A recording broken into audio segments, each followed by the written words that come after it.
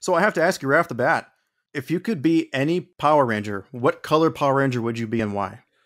My favorite color is green.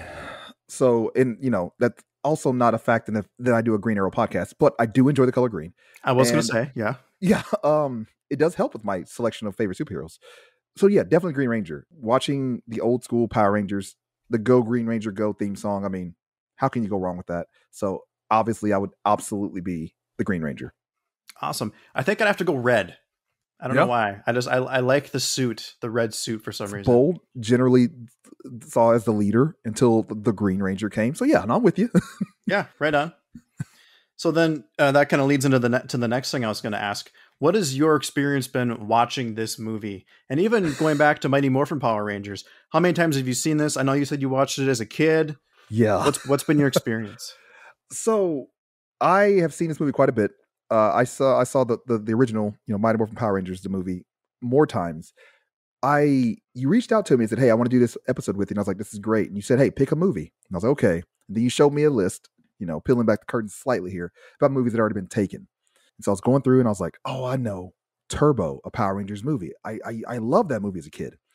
And my story with it is that September eighteenth, nineteen ninety eight, was my tenth birthday, and I asked my mom for Mighty Morphin Power Rangers the movie on VHS, and she came home with this.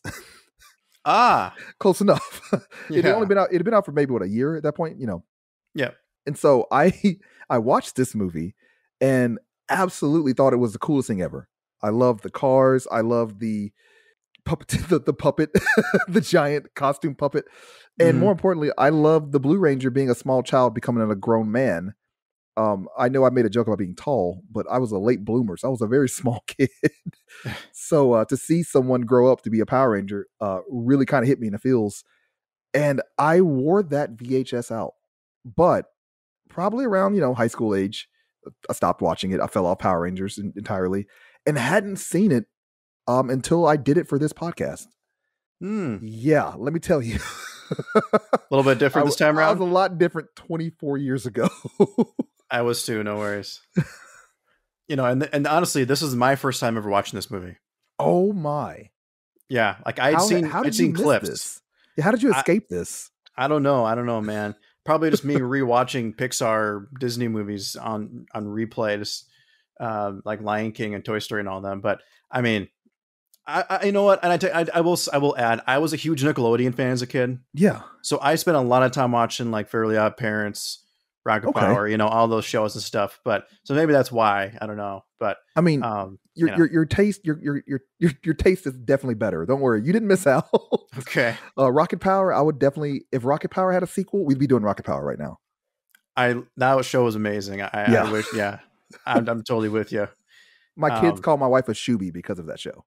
Really. Yeah, because she wears socks with sandals because she's weird. hey, you know. so sometimes it's funny because I'll walk around uh, my apartment with my wife, and, and sometimes we'll like quote stuff and joke stuff, joke about stuff and whatever, and and sometimes I'll actually like do some of like the voice impressions from that show, you know, like Nice. "Hey Tito," you know, or you know, just Now "Oh, what's going on, brother? You know, I'm just pretty sure it's on Power Paramount Plus. I'm gonna watch it now after this recording. is it really? Oh, I have to be. Nickel, all the Nickelodeon old stuff is on there. So well, I has to be. suppose the new iCarly show is on there, isn't it? I think so. I think so. Yeah. I was obviously I was also a Nickelodeon kid, so it's it's exciting. I didn't have Cartoon Network growing up. I didn't watch Disney. Um, it was Nickelodeon. It was always Nickelodeon. for sure for sure yeah and and i will say like and since since we're on this topic since like in recent years like this past year i recently started get, watching more like uh cartoon network stuff Yeah. and i'm like my wife was really big into like ed, ed and eddy and whatnot but i started watching a show called regular show Yes. amazing Yes. Now, for my lack of Cartoon Network, now, and I, I love this. This is we're doing everything we can to talk about Turbo right now. I know, In my- right? In my uh, in my uh, you know, childhood of watching Nickelodeon, my kids are almost the polar opposite. They are straight Cartoon Network. So all those shows now, and you know, I I, I think they've they're really good. Like my my my oldest daughter really has me sit down with her and watch a lot of these cartoons, and I'm kind of still blown away by them. It's good to still watch cartoons in your 30s, man. Don't be afraid of it. absolutely yeah i've been watching futurama lately and that's another good show too oddly enough they actually predicted omicron or omicron however you say it Wow. there was actually like a villain from one of the first like first or second season that that was the na- villain's name like it's just like yeah. Talk about you know like uh I ca- I forget the creator of that show's name, but he's the same guy who uh created The Simpsons. Yeah. So Oh, like man. he's really good at predicting the future. You know. Yeah, that's all The Simpsons does now. I, I'm pretty sure The Simpsons now is just trying to predict the future now. I don't think they're trying to make like, you know, a show anymore. They're just like, we're going to make predictions and then you can meme them out when they happen on Twitter. That, that, that's what my experience with The Simpsons have been recently. Well, when when you have a show that's been around for forty years, I mean, they have nothing better to do at this point. yeah, yeah. You So know. if they haven't predicted at least one thing by now, they're doing it wrong. Yeah. Right.